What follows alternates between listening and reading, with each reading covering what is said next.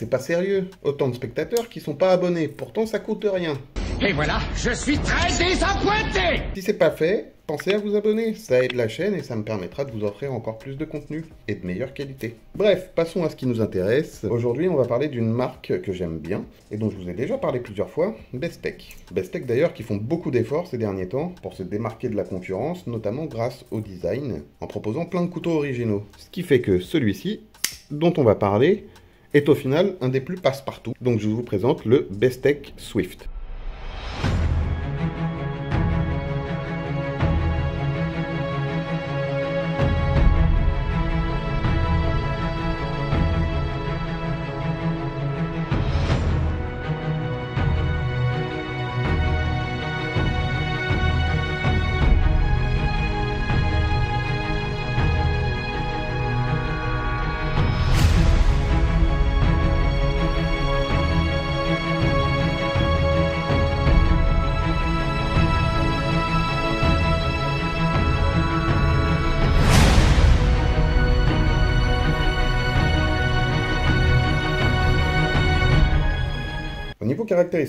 On est sur une longueur totale de 21,3 cm, une longueur fermée de 12,3 cm, une longueur de lame de 9,1 cm, une épaisseur de 3,8 mm, le tout pour un poids de 121 grammes à ma balance. Au niveau des matériaux, on reste sur du grand classique hein, pour un couteau à ce tarif-là, avec une lame en D2 de type Trailer Point. Et d'ailleurs, hein, c'est notamment pour ça que ça leur permet de rester dans ces prix-là avec le D2, parce que beaucoup de marques le suppriment au fur et à mesure de leur gamme, comme CVV par exemple avec son Nitro V, mais du coup, ça augmente leur prix et on se retrouve dans une autre gamme. D'où la création de Sencut pour CVV. C'est un sujet dont on parlera dans la vidéo euh, de Sencut, mais euh, en effet, on commence un peu à s'y perdre entre ces différentes marques, ces différentes gammes, etc. Et d'ailleurs, on n'est pas à l'abri avec Bestech, puisqu'il y a Bestechman qui pointe le bout de son nez, mais ça, on en reparlera également. Pour revenir au couteau, au niveau du manche, on a des plaquettes en micarta sur des platines en acier inoxydable. Des plaquettes d'ailleurs que je trouve très réussies, hein, qui sont euh, pas mal travaillées,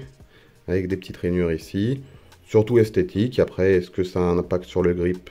Je pense pas trop, honnêtement. L'ouverture par flipper est très fluide, impossible de le rater. Ça claque comme on aime à chaque fois. En plus, le flipper en lui-même est très discret, que le couteau soit fermé ou ouvert. Mais malgré ça, il reste très facilement accessible et il suffit d'une simple pression pour que ça s'ouvre en un éclair. Le verrouillage, lui, se fait par liner lock. Ça se verrouille très très bien, ça va jusqu'à la moitié de la lame, comme vous pouvez le voir. Et il se déverrouille très très facilement grâce à la petite encoche ici au niveau du manche qui est un grand classique maintenant, mais là qui reste très discrète, qu'on sent pas du tout en tant que prise en main, et ça permet de choper le liner lock vraiment très très facilement. La construction générale et les finitions sont parfaites, rien d'inhabituel pour Bestech, mais bon, c'est quand même bon à préciser. Tout est bien ajusté, il n'y a rien qui dépasse, jusqu'aux vis, hein, qui sont vraiment à fleur de manche, on les sent pas du tout. Il n'y a aucun jeu, que ce soit latéral, de haut en bas, ça bouge pas d'un iota. Les platines sont très bien ajourées,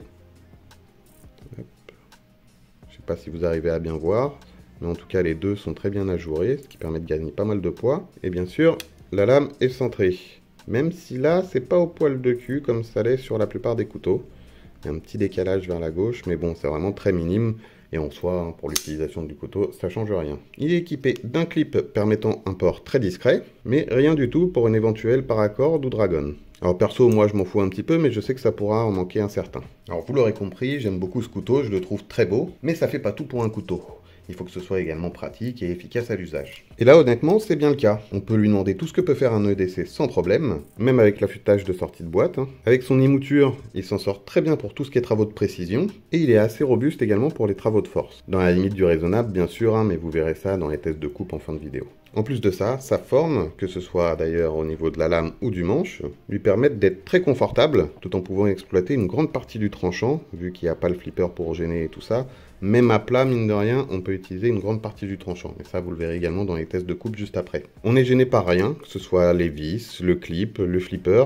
On sent rien qui vient gêner ou euh, provoquer une douleur. Et quelle que soit la position, on est vraiment bien le Jingping. J'aurais peut-être avancé un petit peu plus sur la lame, parce que mine de rien, quand tu veux appuyer, au final, t'es plus dessus. Ça, c'est dommage. Mais bon, après, tout dépend de la prise en main de chacun. Il y en a sûrement qui seront très bien dessus, et surtout qu'il offre vraiment un bon grip. Pour résumer, on est sur un très bon couteau EDC, qui est très beau, à mon goût hein, en tout cas. D'ailleurs, il existe dans plusieurs versions, hein, si celle-là ne vous plaît pas. On peut le trouver entre 50 et 60 euros selon les sites. Donc pour moi, s'il vous plaît, il n'y a vraiment aucune raison d'hésiter. On arrive à la fin de cette présentation. J'espère qu'elle vous aura plu. Si c'est le cas, pensez à me mettre un petit pouce qui va vers le haut. Et puis n'hésitez pas à me dire ce que vous en pensez en commentaire. Je vous l'ai déjà dit en début de vidéo, mais si vous n'êtes pas abonné, pensez à vous abonner ça aide la chaîne, ça aide à avoir des prix préférentiels avec certaines marques, ça aide à pouvoir organiser des concours. D'ailleurs, il y a du très lourd qui arrive très bientôt. Moi, je vous laisse comme d'habitude avec les tests de coupe et des petits clichés en gros plan de tous les petits détails sympas du couteau. Et on se revoit très très vite pour une nouvelle présentation.